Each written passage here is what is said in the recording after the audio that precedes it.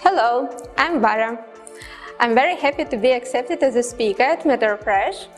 Having seen the videos of last year, I was very glad to learn that there is such a strong front-end development community in India, so I'm looking forward to the event.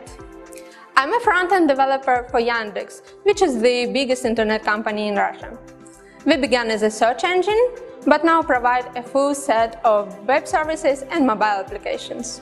With over 2,000 developers and many front-end guys among them, we created BEM here at Yandex as a toolkit and methodology for front-end developers, and we made it open source. By now, BEM is widely used by many of our largest Russian competitors, as well as smaller companies and some Silicon Valley startups. In Bangalore, I'm going to talk about BEM, a little bit of philosophy and why we need it a deep dive onto how to use it well, and about some recent things we've been working on.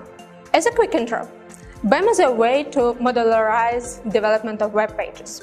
By breaking your web interface into components, the so-called blocks, using elements within them and using modifiers on them, you can have your interface divided into independent parts, each one with its own development cycle. This is very different from the usual situation when you first go to a designer to prepare a PSD image, then to an HTML CSS guy to slice this image into a dummy, and then everyone's waiting for a JavaScript ninja to finish her magic tricks, and this only to come back and go through development cycle again. Instead, you can follow BEM principles, which are some recommendation on a project file structure, CSS guidelines, and writing JavaScript in extra semantic manner and get all the free quality, speed and price for your development. At my talk, you'll learn more about BEM and how it works. Also, we'd like to know that BEM meets the needs of developers. So, besides listening to you in Bangalore, I watched Stack Overflow for questions and encourage you to ask there.